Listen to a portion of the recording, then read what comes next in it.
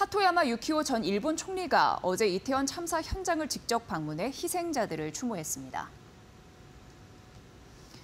하토야마 전 총리는 이태원 참사 희생자분들에게 진심으로 애도를 표한다며 일본 국민도 희생자에 포함됐는데 한국을 사랑했던 이들의 희생에 세계인들의 애도의 물결이 이어지고 있다고 말했습니다.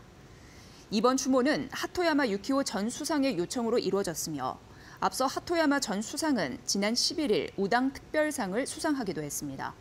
우당 특별상은 우당 이회영 선생 교육문화재단이 우당 이회영 선생의 독립운동 정신과 평화 사상을 구현하는 이에게 수여하는 상입니다.